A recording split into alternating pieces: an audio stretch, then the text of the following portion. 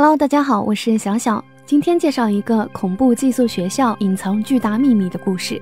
小男孩雅各布长久以来畏惧黑暗，并不时尖叫的状态，让他的母亲和继父很是烦恼。而祖母这时刚好去世，在葬礼上，一个老太太忽然拽住雅各布，称他和祖母的相貌十分相似。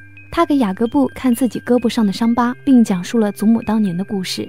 祖母当年曾拿走了他的锉刀，在晚上偷偷磨自己的牙齿。可他还没说完，雅各布就被母亲拽走了。雅各布被母亲朋友家的女孩克里斯汀称长得清秀，不像男生，又因在学校里与人打架被停课一周。独自在家的雅各布翻出了祖母的旧衣服，他穿着女装跳舞的样子却被继父看到了。这之后，雅各布被父母送到了一所在山中的寄宿学校里，这里只有很少几个孩子。半夜，雅各布熟睡时，他的室友一个面部严重烧伤的孩子走了进来，吓了雅各布一跳。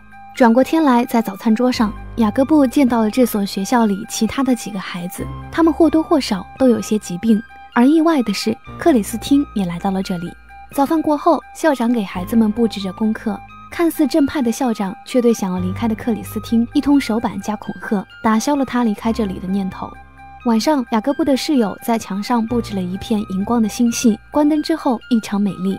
当晚，雅各布做了梦，梦中一个德国军官在某个宿舍里领走了一个女人，而另一个女人坐在窗下磨着自己的牙齿。这天，克里斯汀谎称去厕所，实际到了校长办公室里偷到了校长妻子的名片。他发现校长妻子的名字是假的，猜测这所寄宿学校似乎有很多疑点。而雅各布隔壁宿舍突然传来奇怪的声音。他们壮着胆子去看，发现一个痴傻孩子不断的用头撞墙，还拉了一身屎。就在雅各布带他去洗澡的时候，却看到另外一个孩子死在了卫生间里。校长赶来处理此事，带着死去的孩子开车离开。克里斯汀此时闯进雅各布的卧室，要他与自己逃出这里。两人逃到半路，发现运尸体车根本没有离开学校。随后他们被保安撞见，只好回到了学校。为此，克里斯汀又遭到了一顿毒打。第二天，雅各布来到校长室，校长称死去的孩子并非自杀，而是克里斯汀干的。他被送到这里是因为杀了自己的哥哥和母亲。晚上，克里斯汀对雅各布承认了那个孩子是他杀掉的。他要转移注意力，趁乱离开这个诡异的寄宿学校。夜里，雅各布再次梦到祖母。祖母年轻时貌美如花，被德军锁在阁楼做发泄的玩偶。他看着身边的姐妹被德军折磨得不成人形，一声不吭地用指甲刀将自己的牙齿磨得异常锋利。醒来的雅各布被克里斯汀逼着穿上祖母的衣服，克里斯汀更自断长发，要雅各布陪她跳舞，但实际上却是想趁机行凶。雅各布反手夺走了剪刀，把他按在床上暴打一番。就在雅各布感慨克里斯汀毒如蛇蝎之时，吃下孩子窒息而死。为了确认其他小伙伴的安全，雅各布逐一查看其他宿舍。随后他误入地下室，看到冰柜里藏着真正校长夫妻的遗体。更是目睹了贾校长和一位家长谈话时透露出的谋杀所有孩子的真实目的。原来被送进来的孩子都是被父母视为累赘，这群禽兽不想背负杀子的恶名，竟委托贾校长处理。为了悄无声息的一次性干掉所有孩子，贾校长以寄宿学校为名，计划用一场大火完成谋杀。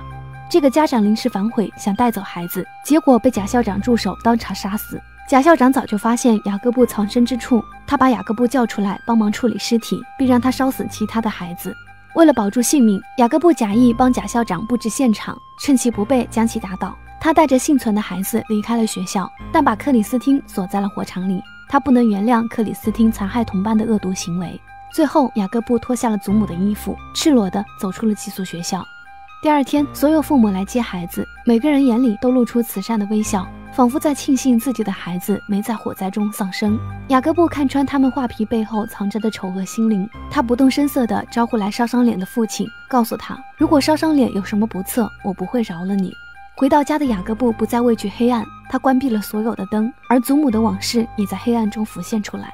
当年祖母眼见身边的姐妹饱受凌辱，在牙齿磨得极度锋利之后，她把自己打造成华丽的凶器，咬死了对他们施虐的德国军官，拯救了大家。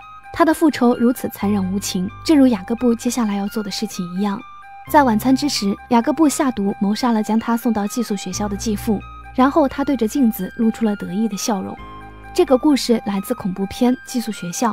好了，今天的电影就介绍到这儿。喜欢我的亲，不要忘记关注我。我们下期节目再见。